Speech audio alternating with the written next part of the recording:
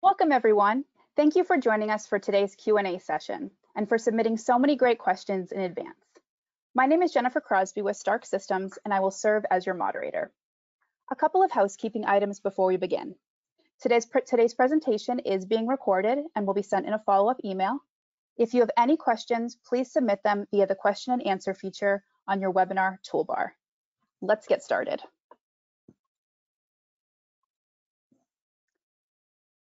It's my pleasure to introduce Dr. Janet Haas, CEO and Principal Consulting Epidemiologist with Innovative Infection Prevention, and Leon Young, Network Infection Prevention Manager, Facilities and Construction with Allegheny Health Network.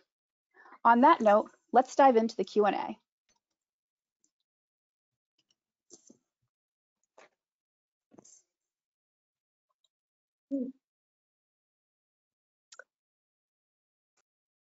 Janet, the first couple questions are for you. Kimberly and Ron asked, when does ICRA 2.0 go into effect and are we required to use it?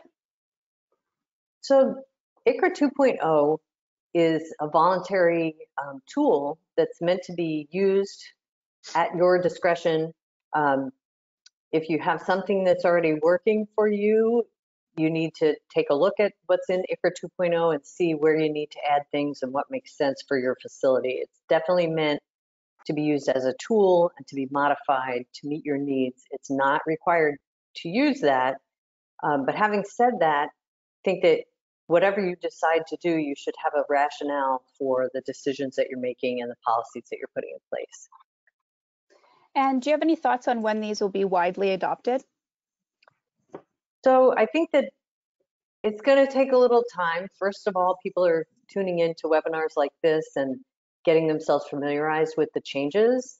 And some people may not even know there are changes yet. What with COVID and everything else that's been going on, I think people's uh, attention has been a little distracted at times.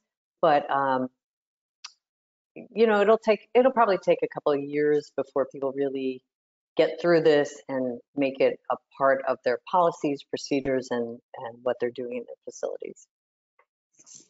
Leon, can you highlight the differences between ICRA 2.0 and the original ICRA? Thank you, Jennifer. Yes. Uh, in a nutshell, aside from the obvious language changes, additional detail listed in the different activity types and the patient risk groups, and the addition of a class 5 ICRA, the main difference in my opinion is that ICRA 2.0 is getting infection prevention more involved and getting their hands dirty. Uh, in respect for our time here today, I'll only point out two of the two of the biggest and most important examples I see. Uh, number one, um, verifying HEPA filtration, and number two, a more detailed ICRA permit that requires the active dictation of specific controls and specifications that will be required by infection prevention. Teal asks, what about the pre-construction risk assessment? Janet, do we still do this or is this now rolled into the ICRA? So that's a great question, and I think there's some confusion around that. So the pre-construction risk assessment uh, is no longer being done in its original format, but it's been rolled into something called the safety risk assessment, which is really a program assessment uh, for what the goals are and what the needs are of the facility. So I can give a couple of um, examples that a safety risk assessment might include um, things about what kinds of services are going to be offered. Are you going to do something that would require you to have um, a larger number of disability uh, safe bathrooms? Um, what kinds of equipment are going to be used? Where are you going to store that equipment? Of course, that has implications for infection control, but also for fire safety, making sure that you have enough um, outlets, all that stuff that is programmatic uh, became part of the safety risk assessment. And that's for infection control, where you're going to do have storage, where do the sinks fall within the rooms, uh, how much storage is there, et cetera. That's part of the safety risk assessment. And then the ICRA is really focused on the actual construction and keeping it safe for that construction period. We have a question from Cheryl about the order of assessment. Leon, how can we assess the construction before thinking about the areas around the construction site? I love this question because I believe this is in regards to the fact that the uh, table four surrounding area assessment comes after you pick your class of precautions, whether it's one through five in the ICRA 2.0 document. Um, the answer I have for that is don't think of the surrounding area assessment as coming after the class of precautions.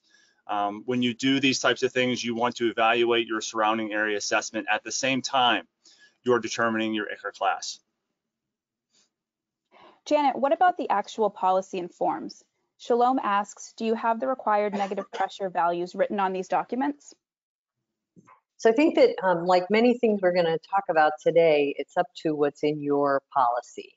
So the pro of putting the exact requirements in the policy is that it's right there for people to see and respond to, and it's on the forms and so on.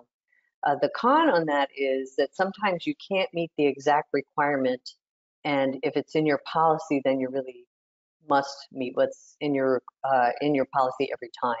So it gives you a little more wiggle room if you don't have these things listed, or if you um, word it in such a way that you say that's the that's the goal, um, but you may not be able to meet that level in some situations sometimes.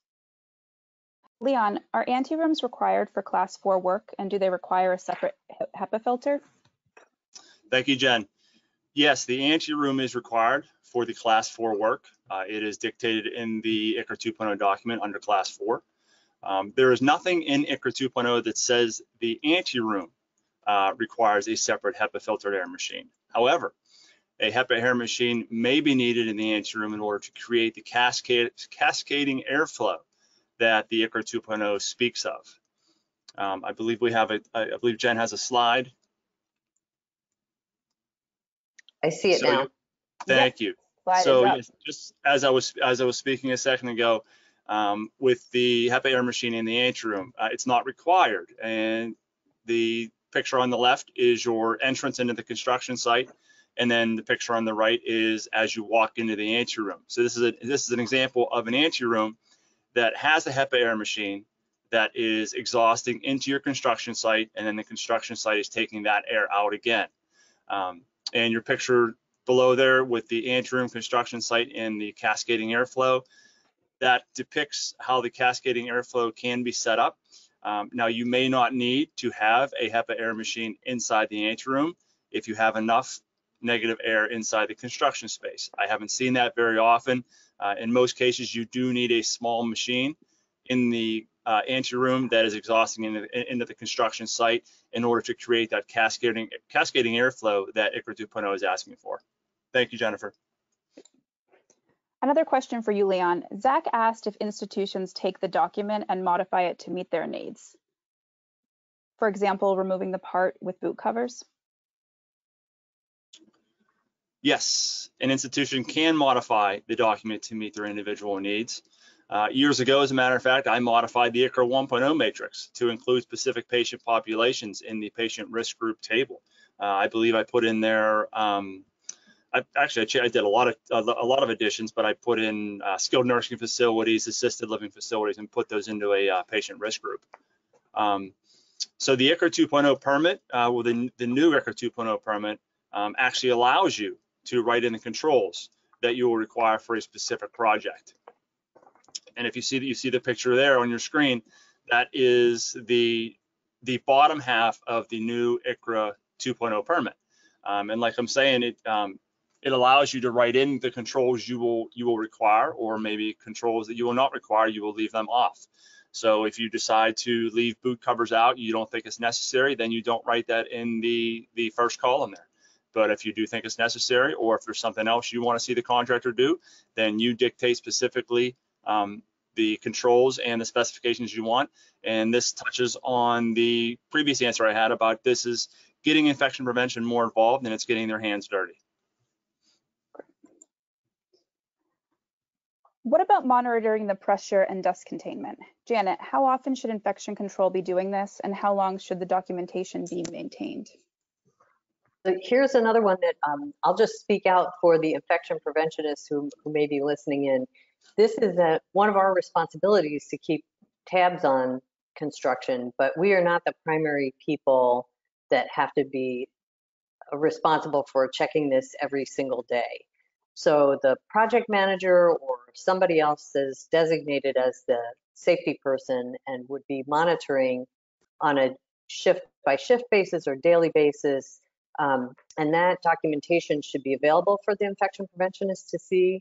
And the infection preventionist should be including this on her or his rounds and getting around to these places depending on where it is, what the sensitivity of the uh, area is, and the scope of the work that's being done.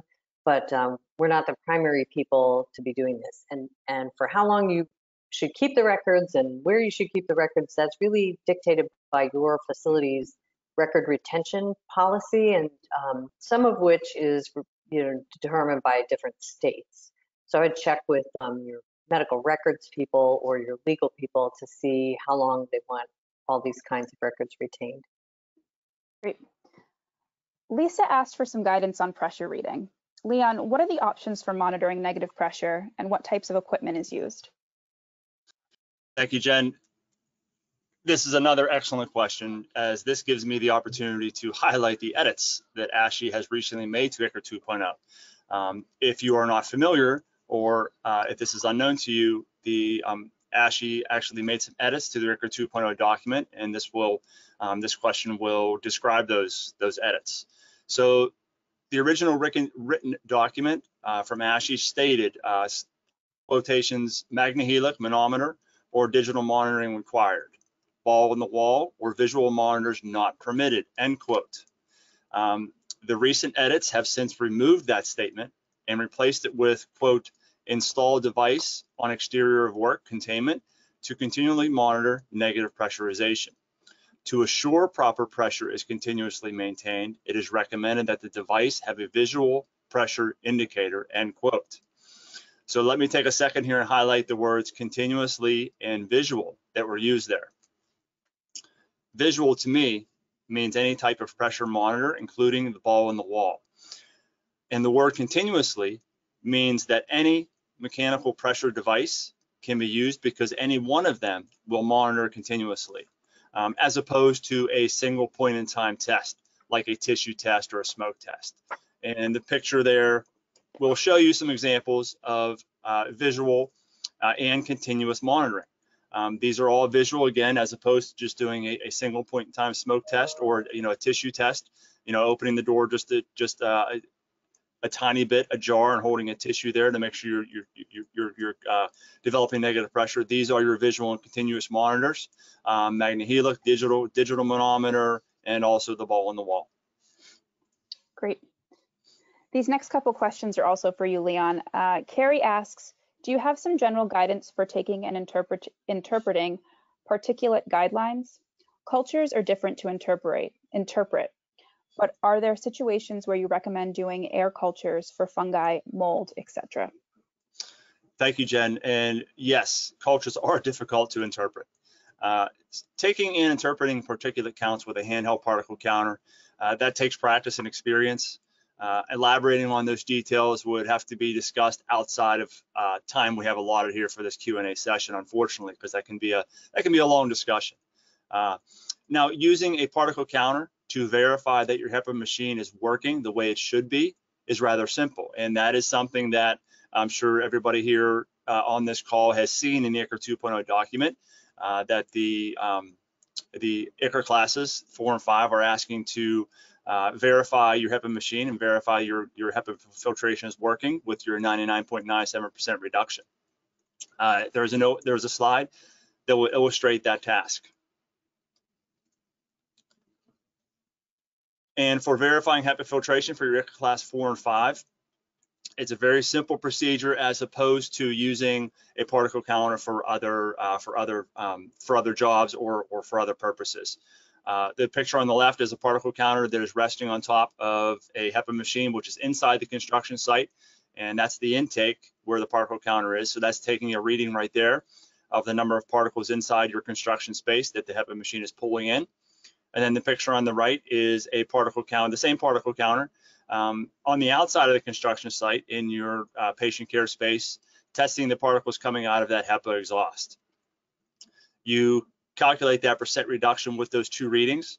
Um, so you take your particle count at the intake, you subtract your particle count at the exhaust, with it, which is the picture on the right, which is always and should, should always be a lot lower than your particle, particle count at the intake.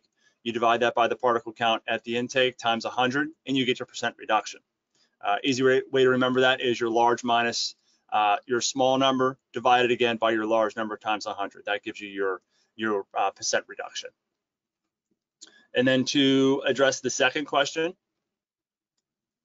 about when to perform air cultures for mold, that is something that is that always seems to be up for debate.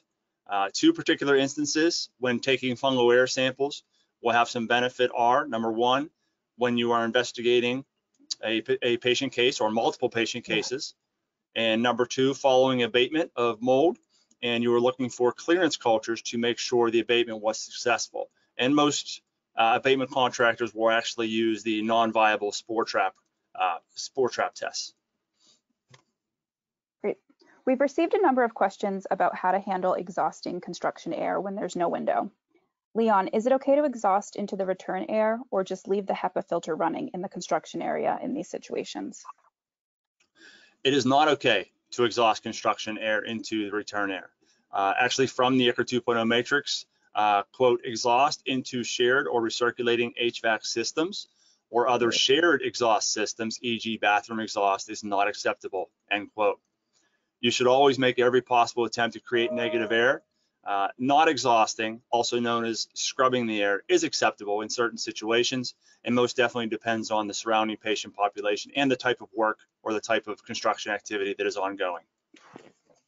So can I just say something? I think this is um, functionally maybe a big change for some facilities because uh, when they can't find a window, if they're in some interior space, um, finding a, an exhaust uh, duct or the HVAC system is uh, often a way that people have done this in the past. So this this will be a big change for some facilities that are used to doing it that way.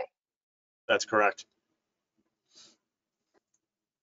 Janet, are there different standards for outpatient areas? These areas are typically closed overnight and on weekends. Do facilities yeah. need to implement all these precautions in outpatient settings? So there are no different requirements for outpatient settings. You know, the, the ICRA 2.0 matrix is what the matrix is, regardless of the situation, you know, the, the setting that you're in. However, if you can take advantage of times when your your um, outpatient area is shut and there isn't other activity going on in you know in areas nearby you can sometimes do um, get a, get away with without causing a problem um, and increasing risk for patients with doing some of this work at night um, and uh, and on weekends. So it's it's often a nice way to be able to do that. Um, you still have to be sure that equipment that's in the area is either moved out or if it can't be moved out, it has to be covered in some way um, to prevent that from getting dust filled. And, um, and a good assessment of the cleaning that's been done has to be done before you reopen um, for patients. So, you know, it is legitimate to try and take advantage of the time when patients aren't there to do this work, but you still have to make sure that the dust is maintained in the in the work area and that the cleanup is done well. And one of the risks of doing it this way is that there's not so much supervision on nights and weekends. Um, so you really have to make sure that any of that equipment, any of the the stuff that might be in the way um, is managed before the work begins on the off shifts. And what about in inpatient settings where the whole unit will be shut down for construction? So that's a little bit different because you're still within that acute care setting. And um, although the whole unit is shut down, it's uh, next to some other inpatient unit or um, some function that's going on within an acute care setting that's likely to be operating 24 7 or at least most of the time. And in addition to that, you know, you have to also be mindful of how are the staff, personnel, equipment supplies, materials, and debris going to move to and from that unit that um, that's under construction, even though the whole unit is closed. There's all this other opportunity to be interacting with the areas of the of the hospital that are still open, seeing patients, and have uh, high-risk people nearby.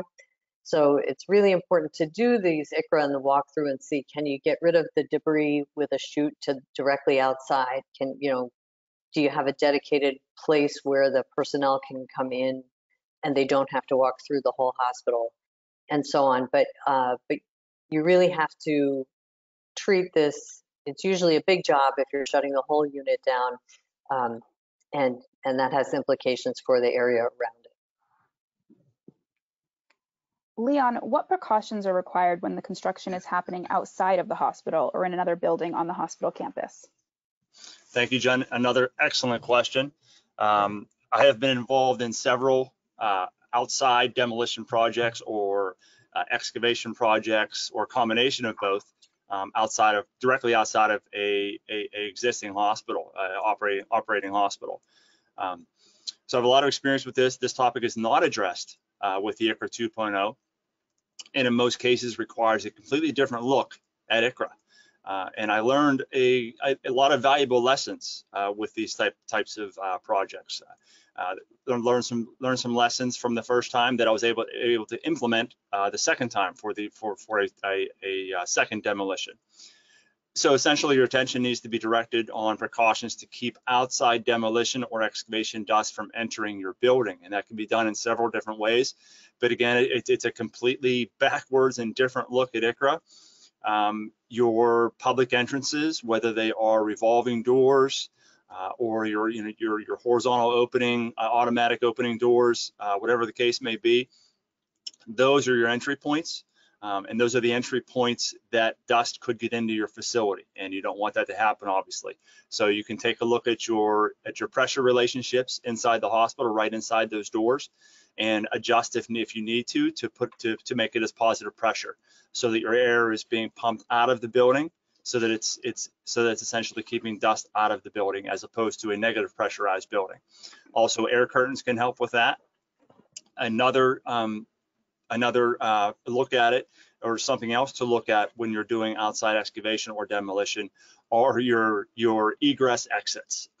a lot of hospitals will have um, egress exit doors. It's usually a single door you need to be vigilant and take a look at those doors and see how close they are to the excavation or how close they are to a demolition site because those egress doors are usually emergency egress doors. Uh, they're usually signed for, you know, emergency uh, access only, whatever the case may be. But I have seen, uh, I've seen these types of doors that were signed for the, for for those particular uh, um, uses, emergency exit only, but lo and behold, they were actually being used by staff to go in and out of the building, to catch shuttles, to leave the facility, whatever they were using it for, uh, multiple different reasons.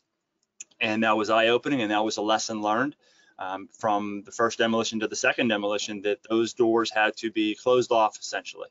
Uh, but keeping in mind your, your your life safety that is an emergency egress we had to do some different things uh, just to make sure those doors were not being used routinely um, and that and that helped to keep dust out of your building. Great. What about regular daily maintenance jobs such as routine painting, installing door hardware, hanging pictures? Janet, do you see, do these routine projects require an ICRA? So the ICRA 2.0 has the type A inspection and non-invasive activities and type B small scale short duration with minimal dust and debris uh, classifications, and these don't require um, an individual assessment or walkthrough. So you can have sort of standing orders, if you will, for some of these kind of um, above the ceiling inspection and um, and other routine maintenance activities. It's a good idea to um, to make sure that the safety people and infection control may know about them if you can. I mean, it's it's a tough one because infection control, at least I don't want to know every time somebody changes a light bulb. But the danger is that if you find something in some of this um, routine maintenance that then requires more work, um, sometimes the the folks doing that work don't realize that they need to stop and then get a more formal assessment if, it, if they found something that requires a, a more intensive intervention. Um, so you can have these standing orders in your forms and your policy and procedures, and people can uh, either, you know, fax that to the safety person or infection control or both or whatever. You have to decide what what you want to know about and and make sure that the people doing the work know what those standing requirements are for um, for containing dust and debris. Leon, do you recommend testing the filters in AHU during construction or when they're replaced? I believe this question relates to performing particle counting in the AHU or air handling unit to confirm that the filters are working properly. Um, e.g., are the filters performing adequately based on their, their MERV rating? Um, this should be, if this is going to be done, um, I don't necessarily recommend it, uh, but if it's going to be done, it should be done during construction uh, while the AHU filters are being used and while they're aging. Uh, and additionally, um, your AHU vendor um, should be able to perform this task for you if needed. Janet, how often do you need to document uh, particulate counts during the during the duration of the project? So I think this is going to be according to your facility's policy. And there may be, there will be some projects that you are not going to be doing particular counting for. For example, if you're putting up a picture, changing a light bulb, doing these um, small scale uh, projects. But for the bigger ones, you you will have to put that in your policy or say that you're going to defer to the ICRA, you know, walkthrough, and it will be um, project specific depending on um, the scope of the work and the location of the work and so on. So each facility has to decide that. And are walk-off mats allowed inside anterooms, Janet? Yeah, so walk-off mats are definitely um, a key element to keeping dust in the construction site and not outside of the construction site. And the downside to the walk-off mats, if they're outside of the anteroom or outside of the construction, is they can be a trip hazard for um, people walking through your hallways. So the better place for them is actually in the anteroom as you're getting ready to leave that anteroom space. And Cheryl asked a couple questions about portable containment units. Uh, should these be separate, dedicated units for the OR Right, to I keep think- them cleaner? Or, uh, and how do these get taken down without raising dust? Okay, so I think that um, portable containment um, device can be the ones on wheels, can be a STARC wall system, can be whatever. And you have to have a process for cleaning those when they're going to be used. Um, regardless of where they're going to be used, you don't want that to be the vector of your dust and dirt from, from the last uh, project to now what you're doing today. So it's really important to make sure that you have a process for getting those routinely assessed and wiped down or vacuumed or whatever so that wherever you are, you don't have dust. And then dedicating them to ORs is a personal decision and it, it has to do with how much storage space you have, um, how much work you're going to be doing. You know, if you know that you're going to be doing a lot of work in your operating rooms uh, in the next few years and you want to buy some portable device, you know, containment device to service those jobs and you have a place to store them in the OR, that's great. They still can become dusty and dirty um, within the work that's being done in an OR. So there's there's nothing magic about having the dedicated ones, um, as long as everything is getting really cleaned as it should be in between uh, projects. So you have to see how much you trust your folks to be on the ball with that and and complying with the cleaning protocols and figure out how many of these you need and where you're going to store them. All of that will figure into a decision, but there's not a requirement that you have separate uh, in, instruments or, or, containment devices for ORs. Um, and how do you get them down without creating dust? I think that this just depends on what kind of a containment system that you have. So, you know, you could have plastic sheeting and uh, take that down and there's no dust per se involved with that except the dust that sticks onto the plastic and has to be cleaned off um, to you know take it down. Uh, if you have it's not portable but uh, sheetrock, then you're talking about a lot more dust. So that's that's a bigger problem to take down without creating dust. if you have something like the STARC walls, they're meant to just snap together almost like Legos, um, and there's not dust inherent in that. If you wipe everything down um, and clean on both sides of it and you know vacuum up with a HEPA vac, there shouldn't be too much residual dust. You'd have to go and take a look again and make sure that exactly where the wall was meeting the floor or the wall, the containment area was meeting the the walls of your existing place, that there's not any micro bits of uh, dust and dirt still left there. Leon, uh, Concord proposed a question in regards to an infection preventionist who is new and new to ICRA. What are the top three things of concern? Thank you, Jen. Uh, number one, develop a relationship and mutual respect with your contractors. Yeah. So a lack of working relationship and or a lack of mutual respect between infection prevention and the contractor can be disastrous. Um, there will cause a lot of friction. There will be there will be issues. Um, so it's very important to develop that relationship and develop that respect because it's very important that the contractor takes the infection preventionist serious seriously and does what the infection preventionist asks. Um, number two, ensuring contractors understand the why more so than the how. Most of you have probably heard this before that the why is more important than the how.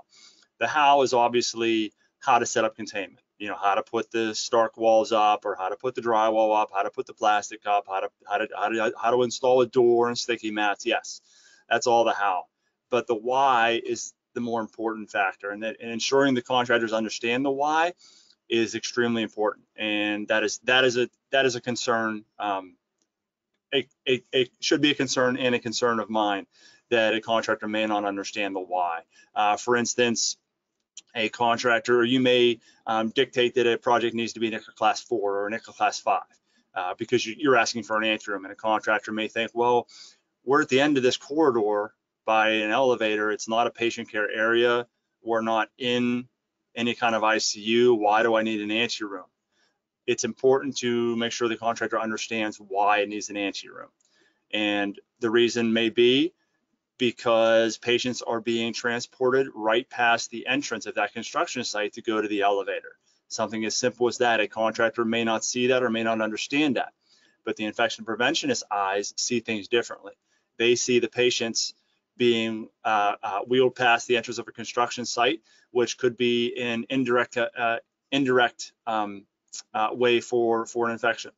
Um, number three, it's essential that a new IP learns and understands how to use ASHE's ICRA 2.0. Uh, learn the ins and outs of ASHE's ICRA, ICRA 2.0 with the patient risk groups and the work activity, how to marry those together to find the proper ICRA class, um, how to complete the ICRA permit, and how to make sure that the contractor is doing what they should be doing. Um, and I, I, would think that a number, uh, a, a, last thing of concern for a new IP um, and as someone new to ICRA as well uh, would be the lack of experience. I remember when I started doing construction um, infection prevention years ago, years and years ago, I really didn't know what I was doing. I didn't know what I was looking for. I was just kind of walking through construction sites, you know, kind of kind of dumbfounded and because I didn't have the experience. But years went on, and I was, you know, in and out of construction sites constantly, and talking to contractors, talking to project managers, attending the meetings, learning all the acronyms and the abbreviations, and just really getting a better understanding of how construction works and how it works in the inside the construction sites and getting a, a better understanding and a, and a better, better visual of what the actual risks are and that just comes with experience. And uh, those are probably my probably my top four uh, things of concern. You know, can I add something? I I, yes. I want to give a shout out to the um, Carpenters Union that has done a lot of work in educating infection preventionists about construction and safe uh, construction. And they didn't have to do that. They just really took that on And uh, if- if the people who ask that are um, APIC members, they should see about how, how to reach out to the uh, Carpenters Union about getting that training. They offer some pretty good programs for free to infection prevention and control folks. Yes, yeah, the training is excellent. Janet, if there is an infection control breach, does the IP have the authority to stop construction until the breach is corrected? you know, we're all powerful, right? Uh, or so we think. So this again, like I, I feel um, I'm going to piggyback on the last question about the new IPs or IPs new to construction and say, I'm going to answer this again, that it depends what's in your facility's policy and what the authority statement is for the infection prevention and control uh, people in regards to, to construction. So if you're new to construction, take a look at what existing policies and procedures you have for your facility or your health system and see um, if it makes sense to you. And, uh, and if you think that you need that authority, um, you know, seek to get it into that policy. So there's nothing magic that says infection preventionists everywhere, always have the authority to stop construction in its tracks. Um, but it's a good thing when we do have that authority and when we use it wisely, right? You, you know, usually there is a way to not get to that point to be able to maybe stop things for an hour while some protection is fixed um, or um, some breach is really taken care of. Um, but there's nothing automatic that says that infection preventionists always have the authority to do that. So it's really important to know what's in your policy and procedure and advocate to get that in there. Great. We've had a number of great questions that have actually been coming in during this live session, so I'm going to jump in and add some of those and throw them your way if you guys are ready for it. Um, So, so a question round. from a question from Jonathan: Why is venting into the exhaust system considered a bad option? I can try to answer that. Uh, I have been told by uh, many facilities personnel that dumping your negative air into exhaust um, and and return return is a definitely a no-no. Some situations you can do it in the exhaust. Facilities personnel and directors have told me that that, that affects pressures. That affects your static pressure inside your your your, your duct system, inside your AHU, inside that whole HVAC system, and that can cause problems. Um, and it can also cause a problem if that exhaust happens to be connected to something else. Uh, with older buildings, things get changed, maybe a drawing gets lost, not updated. That exhaust could be connected to something else, and then you're dumping negative air into there from your HEPA machine, which you're assuming is HEPA. What if it's not? And if you're dumping that air into there and for some reason something got tied into that exhaust and it's being supplied to a different area, you've got a big problem. So I have seen instances and I've been asked that question many times, can we dump into the dump into the exhaust, into an exhaust? And um, it, really, it, it really relies on a thorough investigation of that exhaust duct system, making sure 100% sure that that is an actual exhaust going out of the building and making sure nothing else is tied into that. In, in the instances, in the situations where you don't have other options for negative air, the exhaust can be used if you're 100% sure that that is going out of the building and the facility signs off on that. Great. A question from Angie. When you have a construction site with barriers up to the ceiling, at what point should you extend the barriers up to the deck? Up to the, uh, so we have barriers up to the drop ceiling is what I'm assuming this question's asked. And Yep, then what above the drop ceiling. Should you, ex- yeah, and then at what point should you extend the barrier up to the deck? Uh, great question. Um, pretty much every situ- every construction project where the ceiling comes out. So inside the construction area, inside the construction project, if that ceiling is coming out, the grid, the all the ceiling tile, if that's all coming out and there's going to be demolition in that construction space, then you should be sealing up to the deck. Um, and that keeps that keeps the entire area, that keeps the entire construction site contained as a whole. Um, so that's that's when it's uh, necessary to to complete that um, complete that containment all the way up to the deck. Which is I have a really hard to do because it's not like it's just empty space. There's all kinds of stuff up above It there. never is. Yeah. So if you can, it- depending what's going on, if you can do some of that dust creating work before you have Mhm. to take out the drop ceiling, you can do yourself maybe a little favor and not, not have to worry about going all the way to the deck. But, um, but I agree with Leon, if you're, if you don't have a choice but to do it that way, then, then it's a lot of work. And that's often done with, with plastic just because, uh, it can get around conduit pipes and all that stuff. Yeah. Yep. A question from Eve just came in. I'm a new IP and unfamiliar with airflow ducts, returns, exhausts, and exactly what should be sealed off. Construction crew members are poking holes in air supply seals to allow air conditioning into the space. Is that okay as long as negative airflow is maintained? Yes, that is okay because um, technically you should have your supply diffusers and your return diffusers all sealed up so they're not getting contaminated. Obviously, if you have a supply ductwork that is on, so it's supplying air, constantly supplying air, you can't get dust into that supply. And sometimes construction spaces, if they're not um, temperature regulated, it's going to get hot in there. So you do need some air. I have seen before and I have approved um, supply diffusers being covered up, but open a little bit to get some air in there. That is that is acceptable to do as long as you don't have a lot of supply air because the, if you have a lot of supply air coming in your construction site, that's going to negatively affect your negative pressure. So that'll cause your negative pressure to be less negative, possibly even neutral to positive, depending on how much supply air you have coming into that construction site. So you just need to be uh, mindful of how much uh, supply air you're allowing in. Yeah, I'm a little bit concerned that she's saying that they're poking holes Mhm. into their ductwork. So if there's something that they're modifying ductwork, then uh, as opposed to just opening up your supply uh, registers, um, then that that has to be done in in uh, coordination with the facilities people for all the reasons that we talked about, making changes to the HVAC that are more permanent um, can have implications for other areas of your hospital. What type of particulate monitor are you using? Um, I currently use the TSI, uh, I think it's TSI DustTrak, I think 9303. Um, that's the one I've had the best uh, the best experience with and the best. Um, I've, it's been been easy to use, very user friendly, and um, it, it it's it's an excellent instrument. Great. And for you again, Leon, um, do you have a form that you use when the areas are assessed daily? Yes, we do. Yes, I have a I have a form uh, that we use with the Allegheny Health Network. A question from Jennifer. How do you verify the HEPA filtration?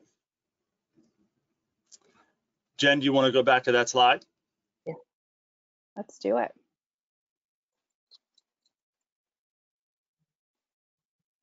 Think we're there, right? Let's see. Yes, we are there. So this picture is a very basic picture, but this shows how to verify your HEPA filtration. Um, and verifying your HEPA filtration is what you need to do is you need to compare the number of particles that your HEPA machine is pulling in. You compare that to the number of particles that it is exhausting out. That difference is your percent reduction. Um, so the picture on the left is a particle counter resting on top of the HEPA machine. That is the intake filter. So that particle counter on the left is pulling in the particles, not pulling in the particles, it's counting the particles that the HEPA machine is pulling in. I mean, I could stand there and hold it, but why stand there and hold it? I can just set it on top of the HEPA machine. So you get a particle count there. In most construction spaces, it's, you know, 500,000, 2 million particles um, at, at, at reading at a 0.3 micron level. Then the picture on the right, that is the particle count, um, using a particle counter, testing the exhaust air. So that's the clean air, that's downstream of the HEPA filter outside the construction site. That number is always going to be much, much less than the number you're getting on the left, because that's your uh, particle count at the exhaust. That's that that's your HEPA filtered air. So to to determine your percent reduction, you take your particle count number at the intake, you subtract the particle count at the exhaust, you, multi, you divide that by the particle count at the intake times 100. Easy to remember is large number minus your small number divided by your large number times 100. That gives you your percent reduction. Um, and that's how you verify that your HEPA filtration is 99.97. HEPA filtration is uh, rated to remove particles at a 99.9%, 97% reduction down to 0.3 microns. That's how they're rated. So that's how you um, verify your HEPA filtration. Great. And let's see, maybe we have time for, for one more. Um, question from Doug, how do you get a negative if you can't exhaust outside? There are, there's not, I was I almost said there's always a way, pretty much always a way. Um, yes, there's a lot of construction spaces where you don't have a window, or maybe you can't open a window. Um, I have seen many instances like this where a contractor has gotten uh, very smart about it and they've they've built something, they, they've developed something. Um, there are other ways to get negative pressure, even if you don't have a window or you can't go outside. Um, if you have containment at the front of the construction site, uh, your, your, your entrance to the, to the construction site or an anteroom, you can dump negative air through there and then out the corridor. Um, or you can take your negative air and um, take your, your, your flexible exhaust duct up over a ceiling and into the next corridor and you connect that to a new diffuser in the ceiling and therefore uh, developing developing negative pressure. Great. One last question. Um, Karen asks, what other instruments do you recommend IPs uh, purchase for their ICRA work? This is open to both of you. So Excellent I don't question. know that, I don't know that IPs need to do that. Sorry, Leon. Um, so I think that, that this is where your multidisciplinary team Mm-hmm. often comes into play. Like, so Leon is an infection preventionist that does all construction. And wouldn't we all love to have a Leon in our lives, right?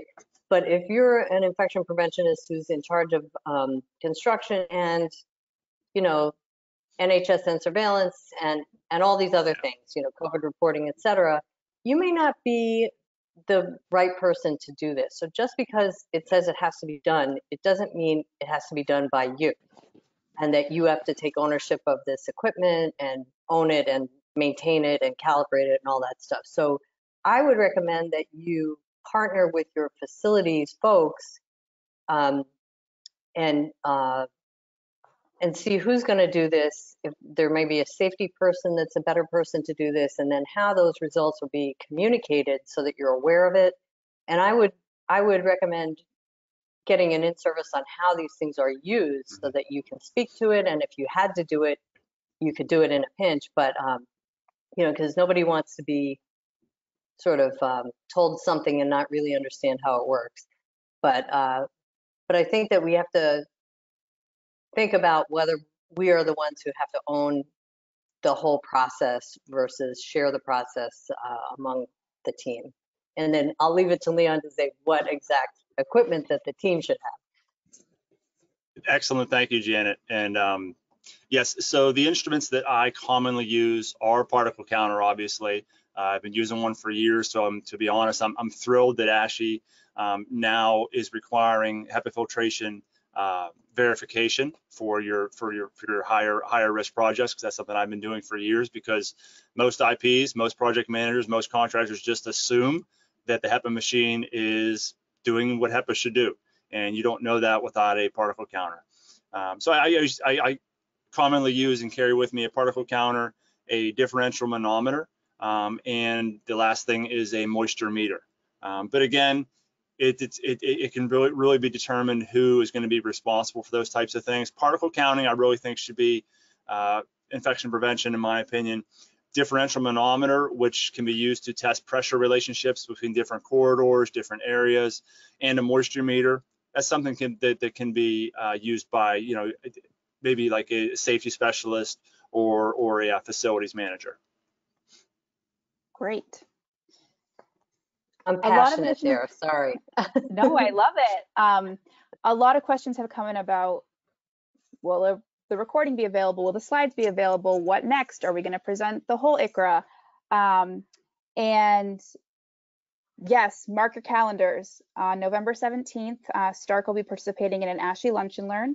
Janet and Leon uh, will share an updated ICRA 2.0 presentation that will be included with the latest updates from ASHE as well as what they're seeing in the field. You don't want to miss it. November 17th. You can keep an eye out for an invitation from STARC.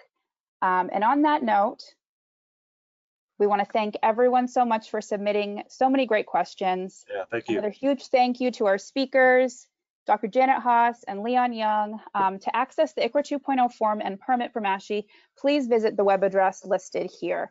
Um, I also want to remind you that STARC Systems designs and manufactures fully ICRA compliant temporary containment systems that eliminate the disruption of renovation. You can learn more at starcsystems.com. A recording from today's session will be available soon. Thank you again so much for joining us. We appreciate you being here and we hope you all have a wonderful day. Great questions. Thank you, everybody. Thanks.